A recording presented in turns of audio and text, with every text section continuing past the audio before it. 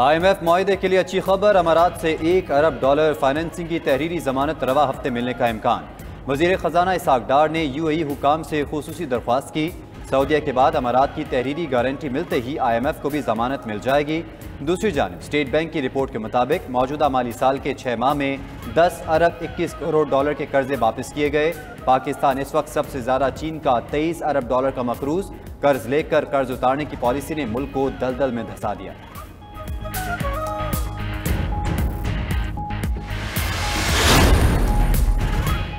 रवा माली साल पाकिस्तान में महँगाई हदफ से ज़्यादा और शरह नमो कम रहेगी। आईएमएफ की वर्ल्ड इकोनॉमिक आउटलुक रिपोर्ट जारी। रवा माली साल जीडीपी ग्रोथ आशारिया पाँच फ़ीसद रहने की पेशगोई की गई।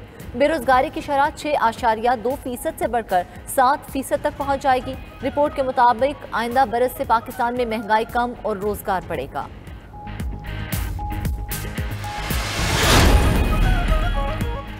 Supreme Court practice and procedure act, Lahore High Court में भी चैलेंज, अदालत से बिल के सेक्शन चार को कलदम करार देने की इस्तः दरख्वास्त गुजार के मुताबिक एक्ट के सेक्शन चार के ज़रिए सो मोटो फैसले के खिलाफ अपील का हक दिया गया, जो आर्टिकल एक सौ चौरासी और एक सौ पचासी के मुनाफी है। यह हक सिर्फ़ आइनी तरमीम करके ही दिया जा सकता है। अदालती असलाहत का बिल गुजशत रोज सुप्रीम कोर्ट और इस्लामाबाद हाई कोर्ट में भी चैलेंज किया जा चुका है।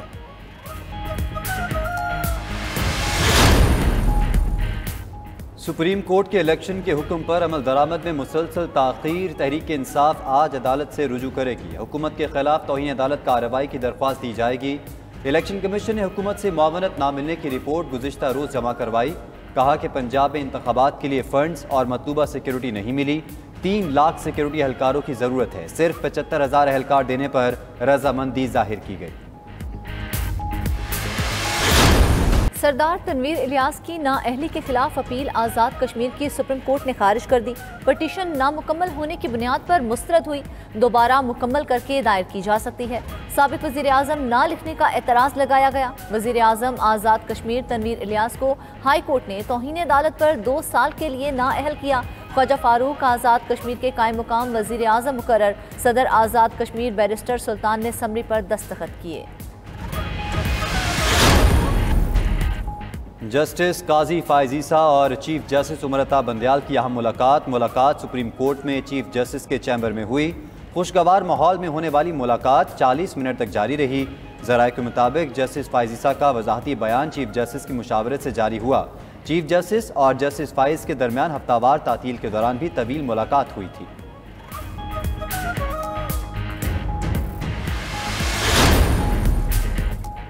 पार्लियामेंट के कौमी आइनी कन्वेंशन में शिरकत, जस्टिस काजी फायजिसा ने वजाहती बयान जारी कर दिया। कहा, उन समेत तमाम जजों को गोल्डन जुबली में शिरकत का दावतनामा दिया गया। आइन से इजहार यकजहती के लिए स्पीकर की दावत कबूल की।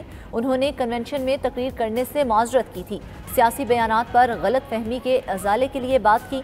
हैरत है, बाज़ लोगों को उनकी शिरकत और बैठने पर एतराज़ है। अदलिया के एक फ़र्द की इज़्ज़त के लिए उन्हें दरमियान में बिठाया गया। शहरियों का मुफाद इसमें है, तकसीम का बीज ना बोया जाए। इमरान खान की थाना रमना में दर्ज बगावत के अखराज मुकदमा की दरख्वास्त। इस्लामाबाद हाई कोर्ट ने मुदई मुकदमा इलाका मजिस्ट्रेट को ज़ाती हैसियत में तलब कर लिया। वकील फैसल चौधरी की आइंदा समात तक एफ़ आई आर पर कार्रवाई रोकने की इस्तः कहा।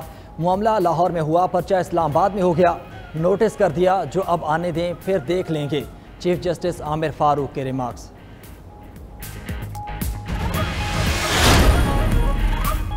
अमरीकी अमूर खारजा कमेटी के रुकन ब्रेड शर्मन का इमरान खान के खिलाफ दर्ज मुकदमात पर इजहार तशवीश। वज़ीर खारजा एंटनी बलिंकन को खत लिख दिया, कहा कि इमरान खान की तकारीर और प्रेस कॉन्फ्रेंस पर पाबंदी है। उनके हामियों के खिलाफ ताकत का इस्तेमाल भी बायस परेशानी है। दो अहम सूबों में इलेक्शन का अल्तवा जमहूरी अमल पर चोट है। हुकूमत पाकिस्तान सुप्रीम कोर्ट के फैसले का एहतराम करते हुए वक्त पर इंतबात करवाए।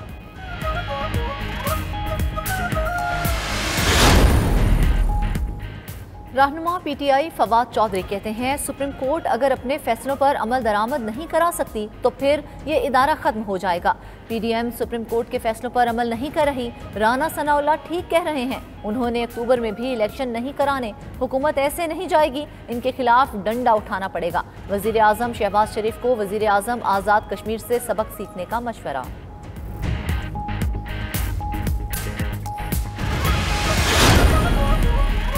सबक वजी अजम नवाज़ शरीफ लंदन से सऊदी अरब पहुँच गए। नवाज़ शरीफ पाँच साल बाद सऊदी अरब गए।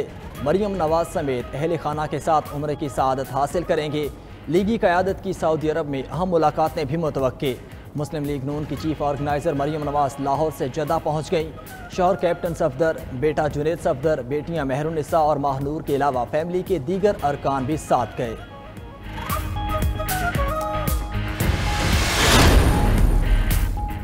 कोरोना वबा, मजीद दो जिंदगियाँ निकल गई। दोनों अमवात सिंध में हुई। 24 घंटों के दौरान 40 मुस्बत केसेस सामने आए। लाहौर में 14 अफराद मलिक वायरस से मुतासर। कौमी इदारा सेहत के मुताबिक मुल्क भर में कोरोना के 18 मरीजों की हालत तशवीशनाक। शराय का शारिया तीन फ़ीसद रिकॉर्ड।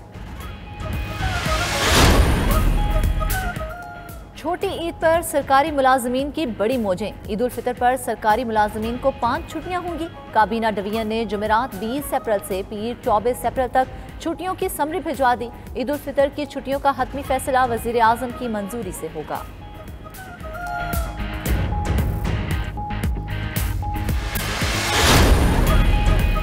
खैबर पख्तूनख्वा में ईद से कबल सरकारी मुलाजमीन को तनख्वाहों की अदायगी। महकमे ख़जाना ने निगरान वजी अला को तीन तजावीज़ भिजवा दी। माली बहरान के बायस ईद से कबल सिर्फ़ क्लास फोर मुलाजमीन को तनख्वाह दी जाए या फिर रिटायर्ड मुलाजमीन को पेंशन दी जाए और तनख्वाहों की अदायगी ईद के बाद की जाए।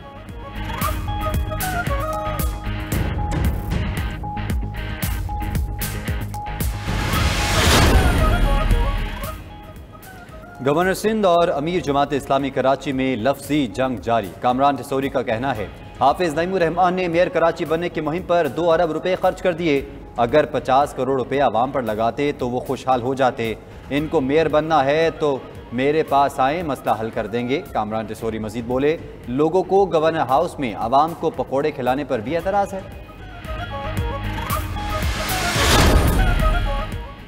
Army chief general Syed Asim Munir का हैवी इंडस्ट्रीज़ टेक्सला का दौरा। एचआईटी की तकनीकी सलाहियतों और मंसूबों पर ब्रीफिंग दी गई। आईएसपीआर के मुताबिक मुकामी वसाइल से पैदावार और जिद्दत के हालिया इकदाम से भी आगाह किया गया। सिपा सालार ने टैंकों की पैदावार और अपग्रेडेशन के अमल का जायजा लिया। 155 millimetre artillery gun barrels remote असलहा और दीगर हिफाजती आलात का भी मुआयना।